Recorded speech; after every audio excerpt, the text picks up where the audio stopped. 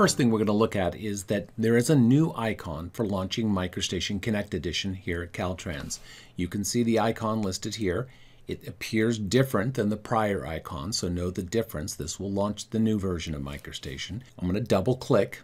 The first thing you're going to see is the standard Caltrans splash screen for MicroStation.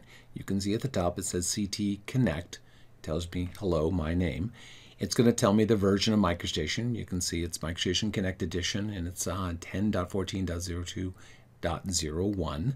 We have the standard information that was on the prior launch screen in MicroStation, and we have the Run MicroStation Connect. This is where you're going to see some differences, is you're going to see the word Connect displayed. So I'm going to go ahead and click on this to launch the program. Now when you launch the program, the first thing you're going to see is what is referred to as the work page. Now in the top left, you're going to see Caltrans. If you don't see that, you'll probably see no workspace. This is the first difference you're going to notice between MicroStation Connect Edition and MicroStation V8i, is that instead of a user and project choice for you, you're going to have workspace and work set. It'll be similar in concept this case, I'm going to be choosing Caltrans, and that's the one you should choose. So if it was set to no workspace, you're going to want to change that to Caltrans. And then on the right, our work set options appear. So if I click here, I have three choices. Currently, we have roadway, right-of-way, and guide sign. I'm going to be choosing roadway. Below that, I have a list of recently opened files. In this case, I have one example. And what we see listed here, the name of the file, the path, modified date, and the size of the file. If I right click on the file, I'm going to get a pop-up menu that will give me options. The first option is open. I could have left click to open it. Or I can open as read-only. That's how you would do that.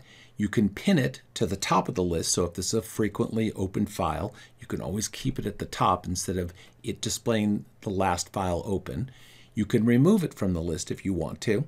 You can also open the folder in Windows Explorer to see where it's at, or you can choose preview if you want to get a better look. So I'm going to go ahead and click preview.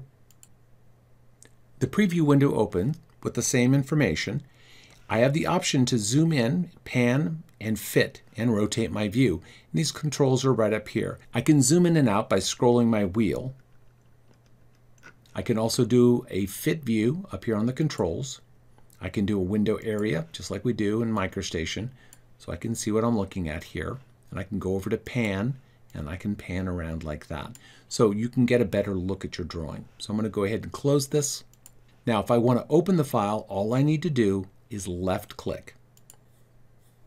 Now this will open the file up what we didn't see when we opened this up was a dialog telling us that there was a mismatch on the workspace work set. And I'm going to demonstrate that in a moment here. But this is the interface which we'll discuss in the next video. So I'm going to do a close and I'm going to open up a different file. So I'm going to go up to the quick access toolbar and there's the red folder, yellow folder icon just like we had before. I'm going to click on that.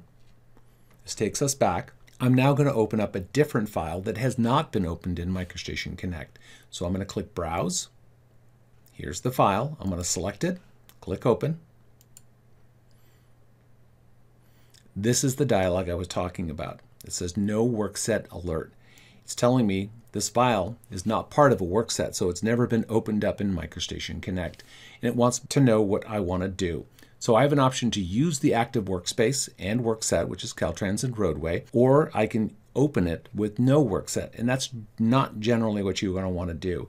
You're going to want to brand the file or open it up using your active workspace workset. So I'm going to click open. Now what has happened is that file was branded. So the next time I go to open that file up, I will not receive that warning. So that will go ahead and wrap up this short video on launching MicroStation Connect here at Caltrans.